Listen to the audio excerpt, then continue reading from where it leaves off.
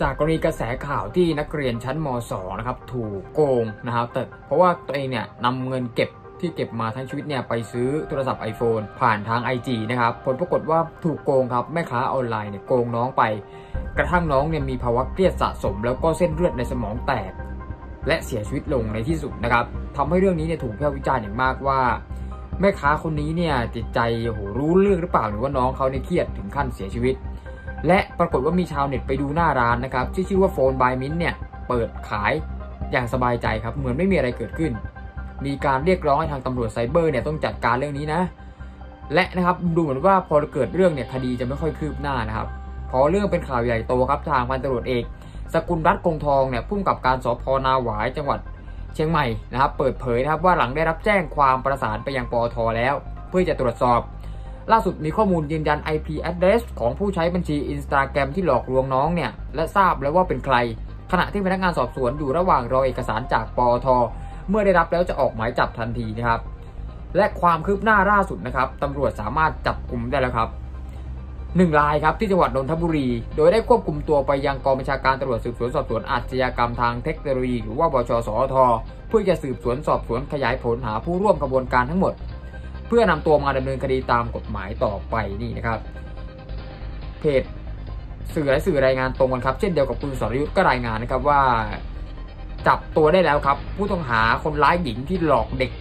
ชายอายุ 14 ปี นักเรียนชั้นม .2 ซื้อโทรศัพท์ผ่าน IG เพื่อใช้เรียนออนไลน์ แล้วโกงเนี่ยจนเด็กเนี่ยเครียดหนัก เส้นเลือดในสมองแตกเสียชีวิตนะครับ และแน่นอนครับว่าไม่ใช่มีแค่น้องที่เสียชีวิตที่ตกเป็นเหยื่อนะครับ มีรายงานออกมาว่ามีนักเรียนอีกคนครับตกเป็นเหยื่ออีกรายของแม่ค้าคนดังกล่าว คือน้องชบาแก้วครับอายุ 13 ปีนะครับ เป็นชาวจังหวัดราชบุรีครับ สั่งซื้อโทรศัพท์มือถือ iPhone 11 Pro ครับ ใน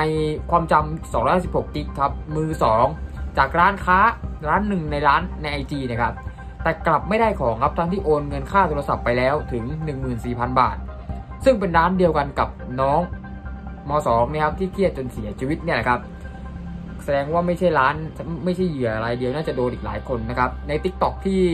ไทยนิวเอาไปลงนะครับลองไปดูได้มีคนมาคอมเมนต์ว่าเคยโดนเหมือนกันจำนวนมากนะครับซึ่งน้องชบาแก้วคนนี้เนี่ยก็เปิดเผยว่าตนเองเนี่ยเรียนอยู่ชั้นม .1 ในโรงเรียน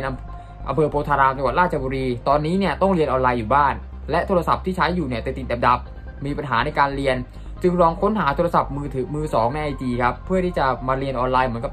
น้องที่เสียชีวิตนี่เลยครับ ซึ่งก็ลงขาย iPhone 11 Pro ในราคา 15,000 บาท ซึ่งถูกกว่าร้านอื่นนิดหน่อยครับ จึงปรึกษากับคุณแม่ก็เห็นว่าดี จะได้เอามาทำ YouTube เพื่อหารายได้เสริม เนื่องจากตนเนี่ยเคยไปประกวดรายการหนึ่งในเรื่องของการประกอบเพลง และได้รางวัลชนะเลิศมา จึงคิดว่าจะทำเรื่องแบบนี้ลง YouTube ซะหน่อย เพราะทุกวันนี้เนี่ยใช้มือถือร่วมกับแม่